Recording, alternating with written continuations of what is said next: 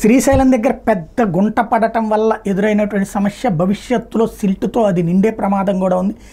ఈ దశలో సిద్ధేశ్వరం అలుగుకి సంబంధించి చంద్రబాబు గారు చేసింది కరెక్ట్ అంటూ ఎక్స్పర్ట్ శివారాచార్య గారికి సంబంధించిన ఒక కథనం చూద్దాం.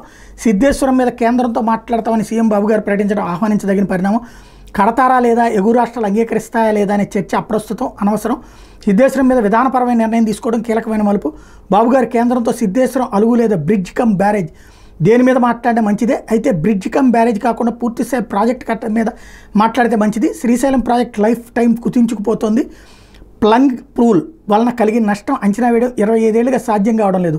మరో ఇరవై ఐదు ముప్పై ఏళ్ళ తర్వాత అయినా శ్రీశైలం ప్రాజెక్టు స్థానంలో కొత్త ప్రాజెక్టు కట్టుకోవాల్సిందే.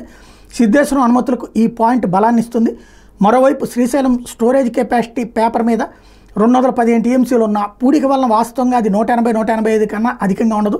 ఈ పూడిక చాలా వేగంగా పెరుగుతుంది. మరో పదేళ్ళలో స్టోరేజ్ కెపాసిటీ నూట యాభై టీఎంసీలకు పడిపోవచ్చు. ఈ కారణంతో కూడా శ్రీశైలం ఎగువన మరో ప్రాజెక్టు కట్టాల్సిన అవసరం ఉంది.